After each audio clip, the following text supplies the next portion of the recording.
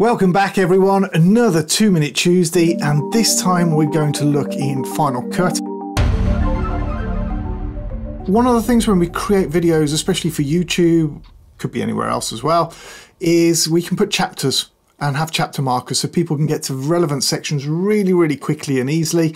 And we add those in as little markers in the Final Cut project. So pretty much like this here, see all these orange bits here?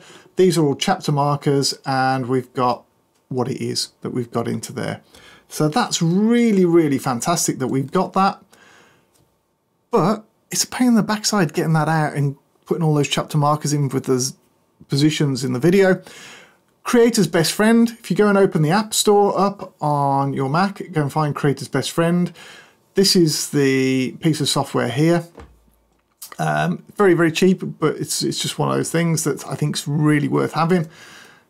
If we load it up, it just loads this up, Creator's Best Friend. Now I can open up an XML file and go and find the project, etc.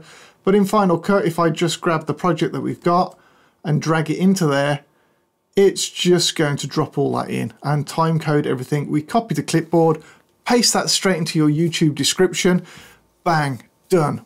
There you go. You've got your chapters already set. Works perfectly every time. Hope you like that. Another two minute Tuesday. I think I've nailed the two minutes this time. If you liked it, thumbs up, really appreciate it. Look forward to seeing you here on the next one.